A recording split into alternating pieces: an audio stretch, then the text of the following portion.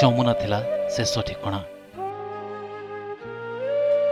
ଯମୁନାରେ ବୁଡ଼ି ଜୀବନ ହରାଇଲେ ତିନି ଜଣ।